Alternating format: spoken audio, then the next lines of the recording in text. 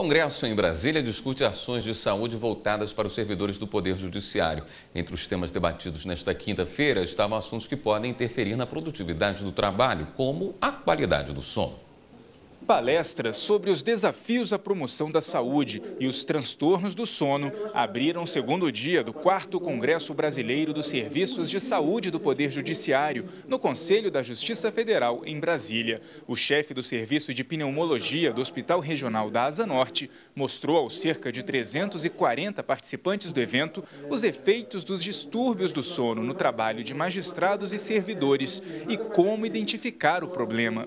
Para isso, deve-se ver o tempo que ela está dormindo, se ela acorda muito à noite, se alguém já reclamou de ronco dela, já foi observado, e procurar realmente a assistência de um profissional de saúde que possa avaliar isso para ver se há necessidade ou não de uma investigação maior. Em seguida, houve debate sobre perícia médica, auditorias odontológicas e assédio moral. Durante a tarde, foram mais quatro palestras e três mesas redondas, com temas como planos de saúde, transtornos mentais e gerenciamento de resíduos. O congresso, realizado pelo Superior Tribunal de Justiça, Conselho da Justiça Federal e Centro de Estudos Judiciais, e que conta com a participação especial do Conselho Nacional de Justiça, tem a diversidade de temas como uma característica. Os temas estão extremamente importantes, todos é, de, uma, de, uma, de, uma, de uma abrangência muito grande, visando, sobretudo, o bem-estar físico e mental dos senhores magistrados e servidores. A opinião é compartilhada pelos participantes do Congresso. É